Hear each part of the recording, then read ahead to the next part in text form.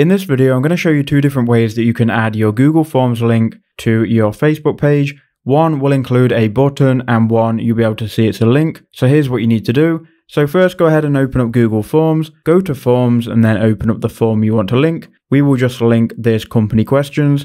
Then go to Send in the top right hand corner, click on the link icon, click shorten URL and just grab this URL. Now head over to Facebook and once you're on Facebook, make sure you're on your Facebook page that you want to add the link to. I'm going to go to knowledge base, so I'm going to go to the icon in the top right, then we'll click on knowledge base.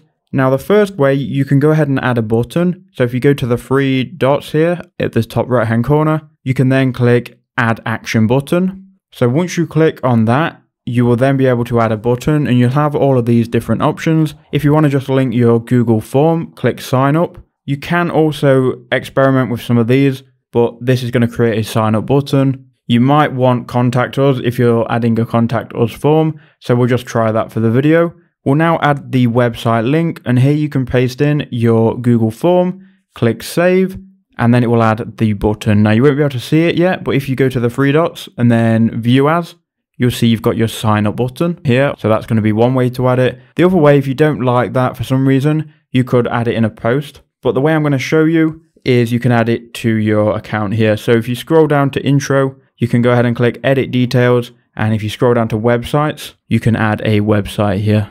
So click update your information and then we'll click add a website and you can paste in the Google form link here if you wanted to. That's going to add it to your page and then it will be here in the bottom left. So those are two ways that you can do it. Use one of them depending on what form you have. Uh, the button is quite useful though because it appears well on mobile, but that's how you do it. I hope that helped you out.